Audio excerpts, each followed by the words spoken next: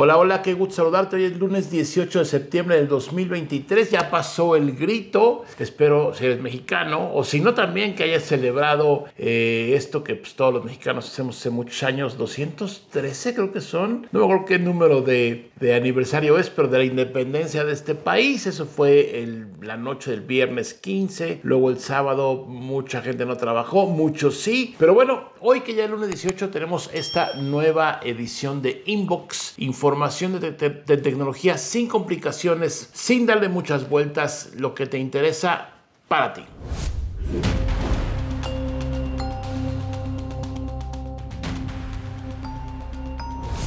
Y bueno, estoy organizando un, numerito con Microsoft México y se trata de que la próxima semana voy a invitar a tres personas a grabar. ¿A grabar qué? Lo siguiente. Necesito que en un correo que tienes que enviarlo a Surface con Matuk, ahí aparece abajo, surfaceconmatuk.outlook.com. En ese correo escríbeme en un par de párrafos para qué usas tu computadora Surface todos los días. Tienes que tener una Surface. Si no tienes Surface, pues no mandes nada, porque no, no, no viene al caso. Esta es una convocatoria para usuarios de Surface en cualquier parte del país, aunque la grabación es en la zona metropolitana de la Ciudad de México, entonces tienes que venir para acá, o si vives aquí más fácil. La grabación va a ser la siguiente semana, ya te contestaremos el día y la hora exacta, en las oficinas de Microsoft, ahí en Santa Fe, al poniente de la ciudad. Tú tienes que llegar para allá, tienes que trasladarte, eh, te daremos todos los datos. ¿Qué va a ser la grabación? Vamos a estar ahí, dos, tres personas de Microsoft, tu servidor, te voy a recibir y vas a platicarme y mostrarme cómo usas tu Surface todo el día. Ya sea que estudies alguna ingeniería, ya sea que simplemente contestes correos, lo que tú quieras. Tiene que ser un equipo Surface de Microsoft y mandarme eh, un, un párrafo, dos párrafos y una foto de tu máquina mándala a surfaceconmatuk.outlook.com eh, y bueno, pues vamos a contestarlos. Voy a seleccionar los tres mejores, los tres más creativos, los más interesantes y los vamos a convocar para la grabación. Y ese video luego vamos a publicarlo en redes sociales para conocer pues, qué hacen con su Surface. Por ella me dijo Microsoft que va a haber unos regalitos a los que vayan, unos detalles, no, no creas que es una Surface nueva, no, pero unos detalles por supuesto. Y bueno, pues el hecho de grabar con un servidor y con la gente de Microsoft. Creo que está interesante. Entonces, bueno, si tienes una Surface, manda tu correo.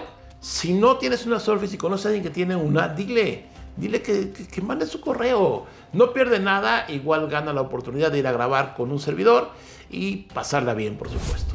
Y bueno, te invito, si ves esto a través de YouTube, a suscribirte, por supuesto, al canal, si quieres, claro. Y si me escuchas por cualquier sistema de podcast, pues ojalá estés suscrito, te agradezco mucho. Pero bueno, vamos con la información. La semana pasada, el señor, pues el periodista Jaime Maussan, igual te enteraste, presentó ahí unos pues unos, esquel unos objetos no humanos, ¿no? Ahí en el Congreso de la Ciudad de México, toda una, pues, eh, impresionante sesión donde hubo mucha gente hablando y presentó Maussan estos dos objetos pues es que no humanos, ¿no? No sé cómo decirles, no humanos. Pero bueno, las reacciones mundiales, y digo mundiales, ahora sí que en todos lados del planeta, no se hicieron esperar. En fin, no, no, no, voy a dar muchas opiniones. Lo que voy a comentar es que la NASA, o sea, Estados Unidos, como que a los gringos dijeron, no, pero eso tiene que estar aquí en Estados Unidos, nosotros compartimos todo.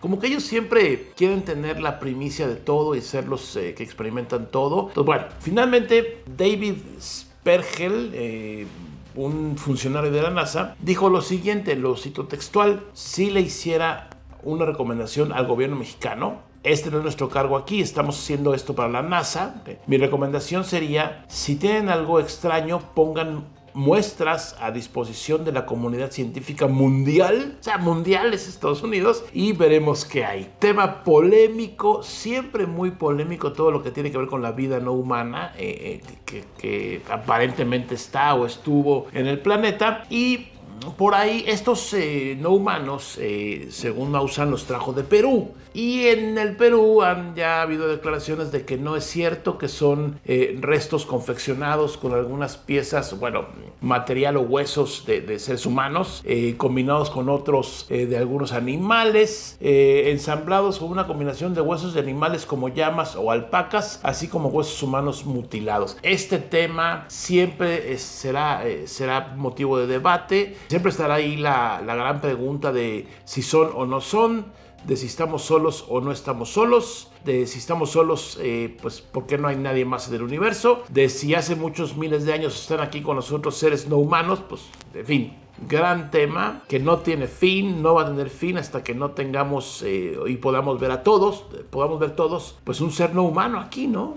Yo estoy absolutamente convencido que tiene que haber vida inteligente como la conocemos eh, en otros planetas, en, otros lugares del universo. Es demasiado grande, según lo que sabemos, para que nada más en la Tierra, que es un planeta pequeño comparado con otros, eh, exista esta vida inteligente. Ahora, bueno, ya no lo voy a extender porque es, es, es un gran, gran, gran tema. Y también, como sabes, la semana pasada se presentó oficialmente el iPhone 15. Seguramente ya tienes todos los datos. Salieron varios modelos, pero aquí, y si no, pues ahí búscalo en la página de Apple, ¿no? Apple.com está toda la información. Ya pasó tiempo. Aquí lo que te quería resaltar son dos cosas. La primera es que los iPhones en México bajan de precio. Los iPhone 15. ¿Por qué? Pues por la paridad del peso dólar, ¿no? Eh, entonces, eh, el iPhone 15 bajó 1.500 pesos, el 15 Plus 2.000 pesos con respecto al, al, precio del 14, el 15 Pro 2.000 pesos y el 15 Pro Max cuesta igual, el precio es el mismo, pero eh, ahora incluye el doble de almacenamiento. Interesante esto que esta compañía tan grande y tan poderosa y tan sofisticada, pues haya tomado esta decisión de bajar los precios. Insisto, mucho se debe a la paridad del peso dólar, eh, que ahora está más barato el dólar, entonces pues están más baratos los teléfonos. Eh, qué bueno, qué bueno, mucha gente quiere comprarse un iPhone eh, y mucha gente no. Aquí hay respeto. Si quieres, qué bueno, y si no quieres, también qué bueno. Pero finalmente, pues bajaron de precio. Ahora, el día de hoy, Hoy, hoy, hoy, hoy, el 18 de septiembre de 2023, ya salió el iOS nuevo, el iOS 17. Yo lo estoy bajando desde hace un rato. Está conectado aquí el teléfono. Em, dice que le falta una hora. iOS 17 eh, incluye muchos cambios. Acuérdate que Apple siempre dice 200 nuevas funciones. Pues sí, pero de las 200, las realmente eh, eh, impactantes o que vas a darte cuenta son pocas. Una de ellas es que ahora puedes tú pasar el contacto que tengas a otro usuario de iPhone con el servicio Name Drop, que lo hace con una animación muy bonita. Acercas, o sea, tú agarras el contacto que quieres pasar, lo acercas a otro iPhone, lo recibe y se queda ahí en tu directorio telefónico, ¿no? Sea, eso está padre, está muy coqueta la animación.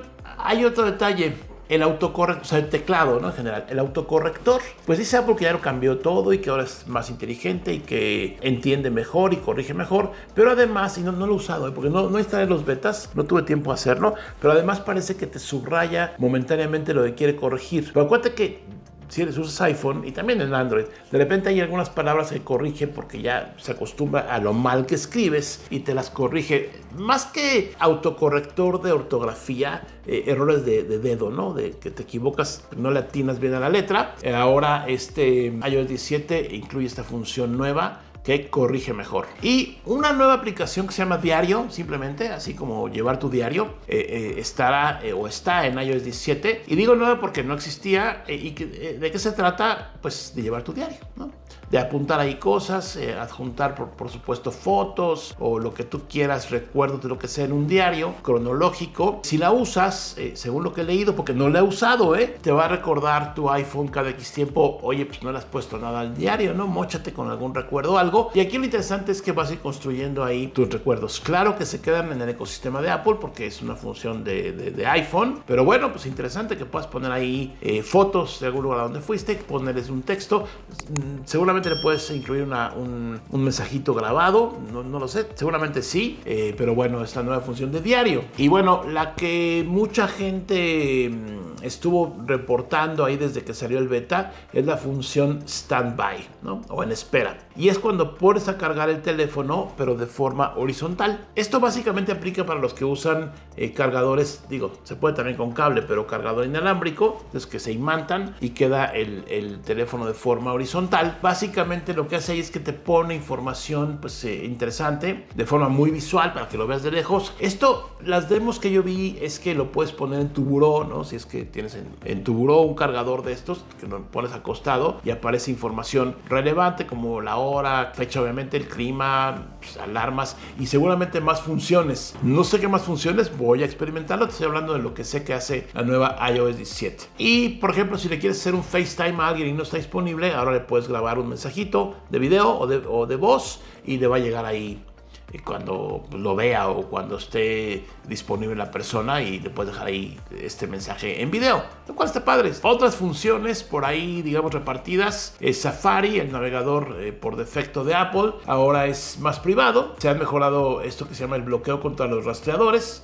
Eh, las famosas cookies, bueno, está ahí eh, aumentando la privacidad. Eh, puedes ahora compartir contraseñas con un contacto de confianza, pues tú simplemente compartes la contraseña con tu el de confianza y le va a llegar sin temor a que se vaya por ahí a otro lado esa contraseña. Una función, los mapas de Apple, ahora los vas a poder usar sin conexión a internet, los puedes descargar. Yo sé que eso lo hace Google hace mucho tiempo, pero ahora lo hace Apple. Y los mapas de Apple, yo creo que funcionan muy bien en Estados Unidos. Yo la verdad no los uso, no, no uso, generalmente uso Waze eh, en mis trayectos diarios. Cuando salgo de viaje a otra ciudad o a otro país, uso Google Maps pero voy a darle una oportunidad. No, no, no, he usado mucho los, los mapas de Apple. Esto que ahora se pueden usar fuera de línea está padre. O sea, descarga el mapa y ya te funciona. Está bien eso de los mapas. Y muchos cambios. Por ejemplo, ya sabes que una de las funciones eh, más utilizadas o muy utilizadas por usuarios de iPhone es el AirPlay del ecosistema Apple, ¿no? Que puedes tú mandar cualquier, casi cualquier contenido a una Mac, por ejemplo, a una,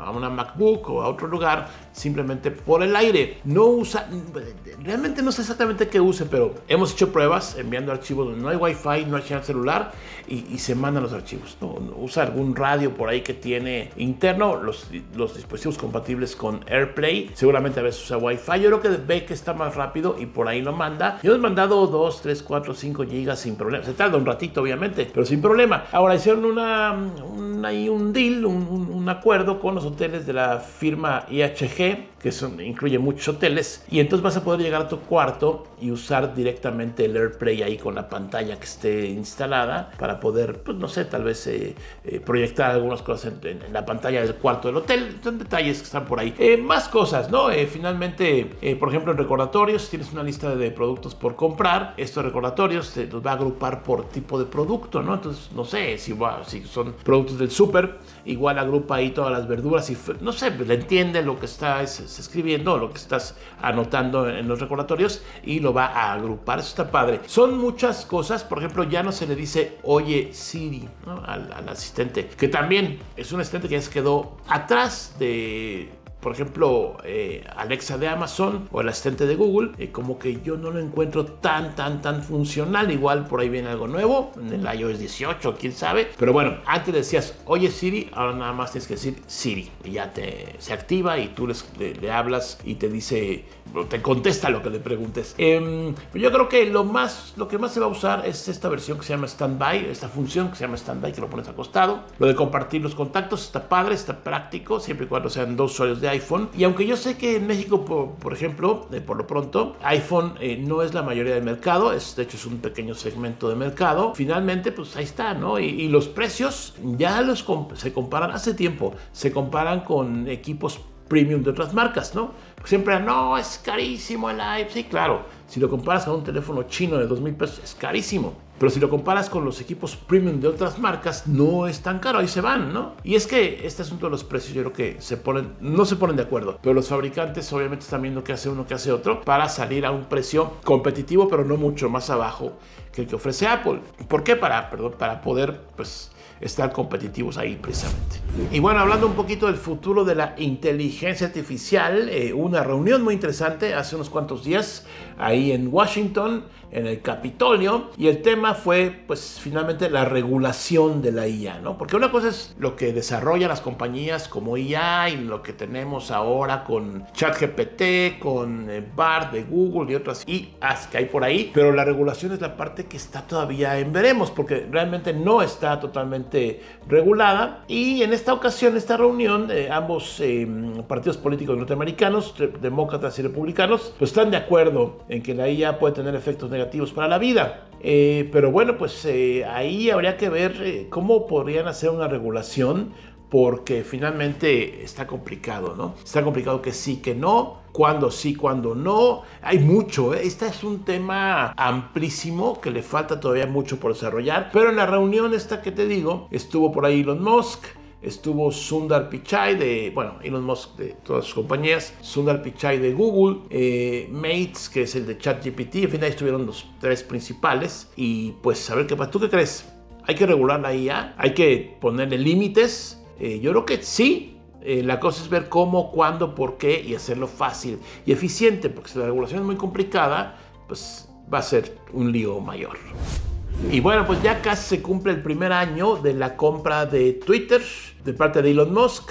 ¿Qué ha pasado en este año? Muchas cosas. Primero le cambió el nombre, ¿no? Fue lo último que hizo, pero el nombre. Ya no se llama Twitter oficialmente, se llama X. Es una cuestión de, costumbre y de tiempo que le digamos X y no le digamos Twitter. Pero bueno, ya está el nombre oficial cambiado. La compañía perdió gran parte de su valor, del valor accionario que tenía porque era pública, ya es privada. Ahora no sabemos cuánto vale porque finalmente es privada. Ya no hay forma de entender cómo se puede evaluar de forma pública. Así que tú puedes entrar, ¿cuánto cuesta Twitter? Ya no hay porque es una compañía privada. Eh, lo que está haciendo Elon Musk, eh, o lo que se sabe que está haciendo, es em, primero intentando convertir esta app en una super app, ¿no? Donde puedas tú hacer muchas cosas, no nada más tuitear, sino puedas hacer transacciones bancarias, puedas comprar muchos productos directamente en las páginas de los, de los marketplaces, en fin. Y otra cosa que está haciendo es pagarle a los autores, a los creadores de contenido, como lo hace YouTube y otras redes. Este sistema de pagos, eh, por ahí seguramente viste algunos tweets de gente muy famosa que recibía eh, pagos de 30 mil dólares, sí, pues está bien, pero es gente que tuitea mucho, más bien, que tiene una gran audiencia. Por aquí no importa el número de seguidores ni cuántos tweets pongas al día, sino cuánta gente ve esos tweets. Entonces, si tienes tú mil seguidores o tienes un millón de seguidores,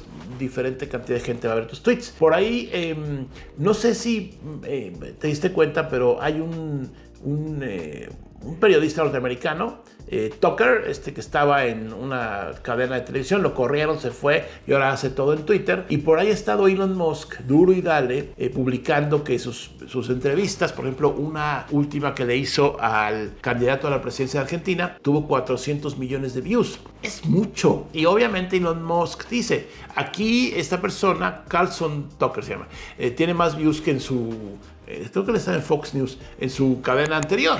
Pues bueno, sí, tiene más views, pero no sé, son números distintos. La forma de medir es distinta, pero bueno, finalmente va a pagar. ¿Cuánto le va a pagar a los creadores? Una lana si eres un creador con muchos seguidores y sobre todo mucha audiencia, mucha gente que ve tus tweets, te va a llegar un pago ahí que es lo que ha estado queriendo cambiar Elon Musk. Ahora mucha gente dice, no, es que X ya no sirve, Twitter ya no sirve, eh, lo nuevo es Threads, Threads no pasó nada, ni pasará. Pues yo creo que todavía tiene mucha, mucho futuro X, eh, pero bueno, claro que eso tiene que venir de la mano con ingreso por anuncios, porque de ahí viven, o sea, Elon Musk tiene mucho dinero, pero tampoco puede estar soportando o financiando una operación del tamaño de Twitter, yo creo. A mí me llama la atención una cosa. Despidió a qué? 70% de la gente cuando lo compraron.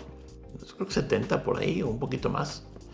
Y pues no nos dimos cuenta. O sea, ¿quién sabe toda la gente que despidió qué hacían? O realmente qué hacían en Twitter. O si eran fundamentales. Yo creo que no. De hecho, pues lo que quiso es cortar gastos y corrió a mucha gente. De ahí que la pregunta es, ¿cuánta gente trabaja en las compañías grandes que realmente pues están ahí para hacer alguna cosa muy pequeña o, están de adorno algunos y que su trabajo lo puede hacer alguien más? No digo que la IA, no, no, no, alguien más, ¿no? Alguien que hace poco trabajo, pues que haga el de la persona que corrieron, que eso seguramente sucede en el mundo corporativo mucho, pero bueno, quién sabe. ¿Te gusta X? ¿Te gusta Twitter? A mí me encanta, me encanta, es una forma muy, muy rápida de enterarte de noticias, depende de quién sigas obviamente, y también de estar ahí en el chisme de algunas otras cosas, pero finalmente es un sitio, creo yo, donde hay información de primera mano si sigues a las cuentas correctas. Si sigues a puras cuentas falsas, pues no te vas a enterar de nada. Y ahora me gusta que en algunos eh, tweets o informaciones polémicas le ponen como contexto, ¿no? El mismo Twitter pone, a ver, este video fue falso porque fue grabado tal día, tal hora y no es cierto, etcétera, etcétera. Entonces, bueno, está padre porque ahí te ayuda un poco con el contexto. Y todo se resume en el asunto político, eh, la libertad de expresión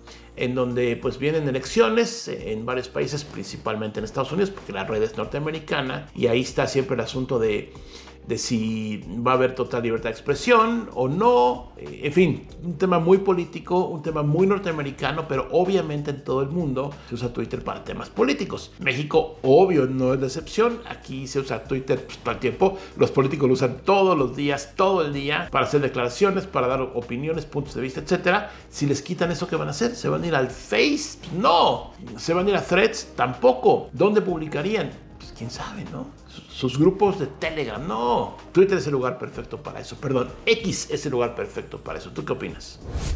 Y la encuesta de la semana pasada estuvo bajona, ¿eh? 903 votos, casi a nadie le interesó. Y la pregunta no es tecnológica ni nada. Simplemente pregunté, ¿dónde vas a celebrar el grito? Ya comentaba esta, esta fiesta que se celebra en México la noche del 15, de cada 15 de septiembre. Pues en casa el 58% casi todos en casa. En algún restaurante 2.5%, es muy poquito. Calle o plaza pública que se van a la alcaldía o se van a un parque grande donde hay algún tipo de celebración, 4.9% y no lo celebro 35%. Me llama la atención el no lo celebro, eh, sí, sé que la pregunta es abierta, o sea, igual yo quisiera poner 20 opciones de respuesta, pero no se puede eh, por limitantes de Twitter, pero aquí hay algunos comentarios, nada que celebrar, faltó en el trabajo, igual mucha gente estaba trabajando. Dice Open Mind, no quiero politizar, pero así como está el país no hay nada que celebrar, pero acá en casa nos echaremos un buen pozole, digo, el comer pozole con unas buenas tostadas de pata o tinga, unas buenas chelas es independiente. Ah, y unos cuantos elotitos dulces, ¿no? Pues provecho. Eh, se estila comer pozole en esa fecha. Si no eres de México, pues el pozole es un caldo con maíz y mucho, otras muchas cosas. Eh, pero bueno, gracias por participar. Sé que la, la encuesta no tuvo tantos votos porque no es tecnológica o por no sé por qué, pero gracias por participar. ¿Qué ha pasado con el asunto del mercado gris? Bueno, si, si recuerdas, Motorola de México hace unas cuantas semanas anunció que los teléfonos comprados en el mercado gris, o sea, los teléfonos comprados en México que no se los compran directamente a Motorola de México o a un distribuidor de Motorola de México, los van a bloquear. Así, ¡pum!, no van a servir. Una medida controversial que ya está en vigor obviamente. Y la semana pasada Samsung, que es el principal vendedor de teléfonos en el país, anunció que tomaría cartas en el asunto. ¿Qué es lo primero que va a hacer Samsung cuando detecte un teléfono de mercado gris? Va a mandarle una aviso, como que estás viendo en pantalla. Este te va a llegar a tu, a tu celular, este aviso, pero Samsung dice que no los va a bloquear por el momento. Nada más va a avisar tu teléfono es gris. Bueno, tu teléfono no cumple con los estándares mexicanos y las normas del NOM y etcétera, etcétera, etcétera. Em, y te va a mandar ese aviso. ¿Qué va a hacer después? Obviamente puede bloquearlo sin, problema, puede serlo. Pero yo creo que están midiendo ahí eh, eh, la temperatura, cómo está la reacción de la gente con este asunto del mercado gris. Ahora, como sabes, el mercado gris se trata de... Está el mercado negro, donde la gente importa lo que sea, ¿no? En este caso, teléfonos, eh, no paga impuestos, llegan de contrabando y se venden. Es el mercado negro, hay de todo. El mercado gris es cuando yo, por ejemplo, hago contacto con alguien en China y le digo, oye, véndeme mil S23, ¿no? ¿A cuánto me los das? O sea, tanto, mándamelos. Llegan al país legalmente, pagan impuestos de importación y yo los vendo, pero a mí me ha costado mucho más barato. Los vendo en línea normalmente o se los voy se los llevo a un almacén. Oye, mira, aquí están estos 100 teléfonos, etcétera. Esos teléfonos nunca se le compraron a Samsung de México ni a Motorola de México. ¿Qué pasa? Que dice Samsung de México y Motorola de México. Esos teléfonos no tienen garantía mía, o sea, no, si te descomponen no puedes ir conmigo que te lo arregle. Eso era antes, ¿no? Todo, el tiempo. Y ahora, pues igual lo bloqueo. Es una decisión que toma cada compañía. Eso no está legislado aquí en México. Sé, por ejemplo, que en Chile hay una legislación, es, es, es, una falta a la ley comprar un teléfono en el mercado gris y tratar de operarlo. Sé que en Chile, porque me platicó un chileno, amigo mío, que puedes comprar un teléfono de esos, em, a la, eh, perdón, un teléfono en el extranjero, que vayas tú de viaje y compres un teléfono que tú quieras, lo puedes llevar uno al año, porque también es otra historia. Por ejemplo, Motorola dijo, si te compras un teléfono, por ejemplo, más sencillo, Motorola en Estados Unidos, directamente a Motorola Inc. o Motorola Estados Unidos, sí lo vas a poder usar en México. Samsung no fue todo lo claro en ese como que lo estaban estudiando. ¿Qué pasa si me voy yo de viaje y me compro un Samsung en Best Buy o en Estados Unidos o en alguna tienda oficial de Samsung? Pues es un teléfono que compré directamente de la compañía en el extranjero. Ahí está, es muy claro. Lo compré de viaje, no se lo compré a Samsung de México porque estoy en el extranjero y no hubo una respuesta contundente a lo que van a hacer con eso, pero bueno, a ti, ¿tú qué opinas? ¿Está bien que, que regulen el mercado gris? ¿Está mal? ¿Quién pierde? ¿Quién gana? Un tema que nos va, nos va a dar mucho de qué hablar. Vamos a comentarios, dice Alexi B. Mort. Espérate, no veo nada. Pero ahorita arreglamos. ¡Ay! Ese problema.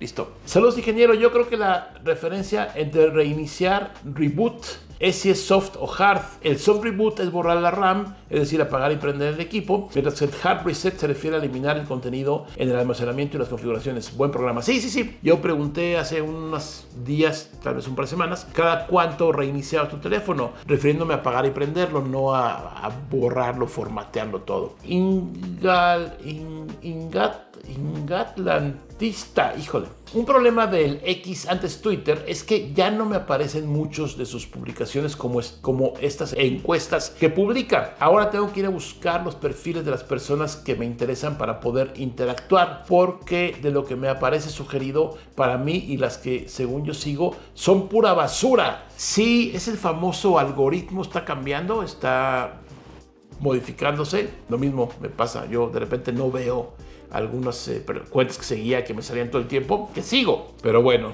dice Gilberto López, ya hace falta escuchar al original Matuk y no solo al clon Qué gusto verlo. Gracias. Eh, sí, em, gracias por tu comentario. El proyecto Nosotros los Clones es un video podcast que hacemos Aura López, José Antonio Pontón y yo. se publica los miércoles y viernes en todas redes, en todos lados de podcast y también en YouTube si quieres escucharlo. Ahí estamos tocando temas de tecnología, de cine, de música, eh, con una alta carga de tecnología siempre hablemos de cine, pues hablamos de películas que tienen que ver con tecnología, música también, eh, y no sé si puedo decirlo ya, pero entrevistamos, a ver qué día es hoy. No, no puedo decirlo. Entrevistamos a un personaje súper interesante. Bueno, a dos. Todos son interesantes, pero esto es muy interesante. No te lo pierdas. Nosotros los clones, nos puedes seguir en redes sociales o suscribirte al canal de YouTube. Dice Hugo ZG5KR. Si en USA no disponen de WhatsApp, entonces ¿qué usan para mensajes? Los SMS. Es increíble cómo en Estados Unidos, no increíble, pero así, así, así funciona. El, famoso iMessage de Apple eh, es con SMS. Y, todos usan SMS. El Text Me es un SMS. Se usa WhatsApp, pero no se usa tanto como en otros países una de las particularidades es que los SMS ilimitados gratuitos generalmente estuvieron presentes en todos los planes de, aquel país, ¿no? Entonces pues podías mandar mil mensajes y no te costaba más. Pero bueno, pues eso es por lo que se usa en Estados Unidos principalmente los SMS y eh, no WhatsApp. Ya me voy, muchas gracias por verme o escucharme. Esto se llamó, esto se llama Inbox de hoy, eh, lunes 18 de septiembre del 2023. Eh, recuerda seguirme en redes sociales. Si quieres, por supuesto, suscribirte al canal de YouTube. Estás viendo por YouTube esto, estás escuchándolo en cualquier sistema de podcast. Te mando un saludo muy grande y mi agradecimiento por escucharme casi todas las semanas. Y bueno, vuelvo contigo con más información interesante, por supuesto, preparada para ti.